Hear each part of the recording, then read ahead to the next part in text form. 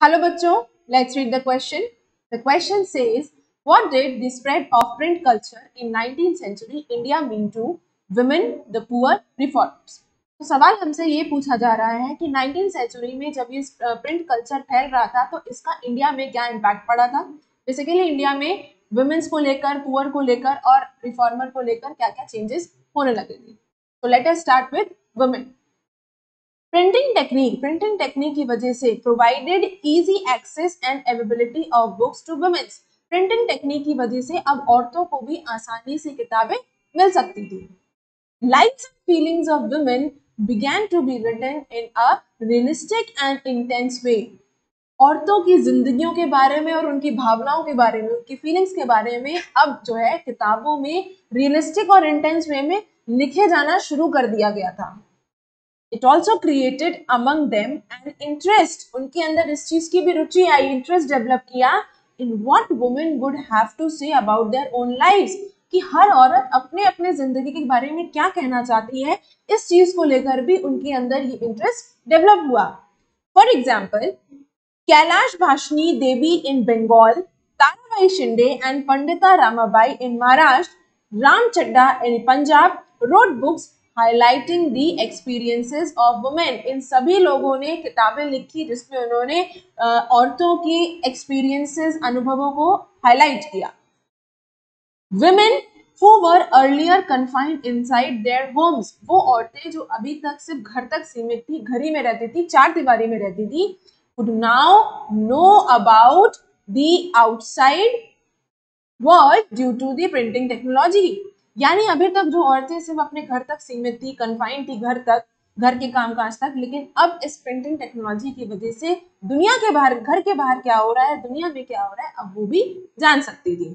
Apart from this इसके अलावा भी liberal males encourage women from their families to read सिर्फ़ इतना ही नहीं, यहाँ तक कि जो आदमी थे मेल्स थे, उन लोगों ने भी अपनी अपनी वुमेन्स को एनकरेज किया कि वो भी पढ़े रीड करें।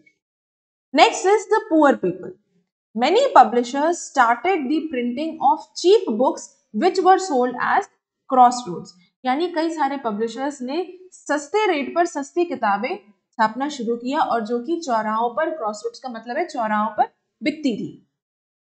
This increase the readership among the poor people अब जो कि सस्ते दाम पर किताब थी तो इसलिए गरीब इंसान भी उसको खरीद कर पढ़ सकता था। Public libraries were also set up which increase the access to the books साथ ही साथ पब्लिक लाइब्रेरीज भी सेटअप कर दी गई थी, जिससे कि अब जो और ज़्यादा लोग किताबें पढ़ सके, उनको बुक्स अवेलेबिलिटी और इजीली हो जाए।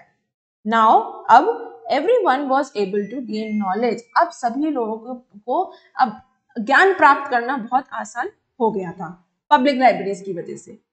Factory workers also started writing about the link between caste and class exploitation यहाँ तक कि फैक्ट्रीज वर्कर्स ने भी जो क्लास और कास्ट uh, डिस्क्रिमिनेशन रहते हैं एक्सप्लॉयटेशन जो रहता है इसके इनके बारे में भी लिखना शुरू कर दिया था इन फैक्ट्री वर्कर्स ने Third is reformers.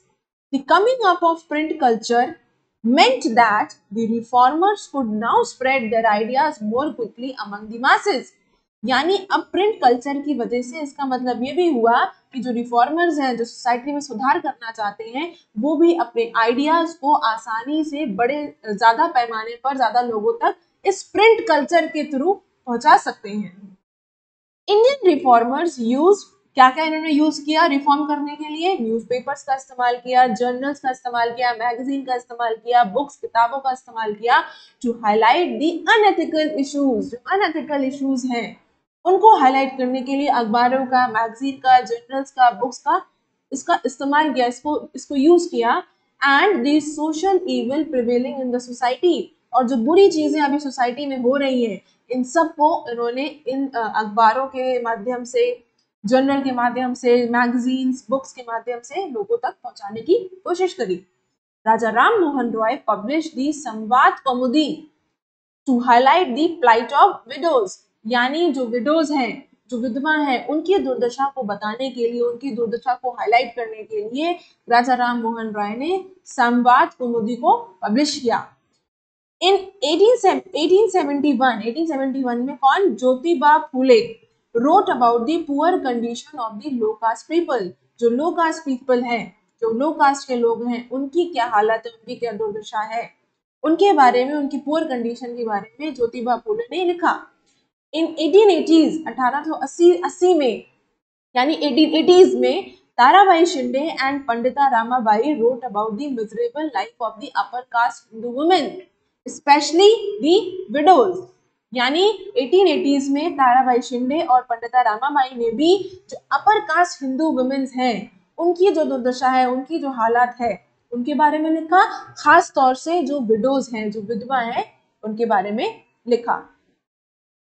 Among the Muslim the ulema use cheap lithographic presses published Persian and Urdu translation of holy scriptures and printed religious newspapers and tracts. तो अगर मुस्लिम्स में बात करें तो उलेमाओं ने सस्ती लिथोग्राफिक प्रेसेस का इस्तेमाल किया और जो होली स्क्रिप्चर्स हैं, उनको पर्शियन और उर्दू लैंग्वेज में ट्रांसलेट किया, साथ ही साथ रिलीजियस न्यूज़पेपर्स और कुछ ट्रैक्स को प्रिंट भी किया So I hope you understood the question as well as the answer. Best of luck.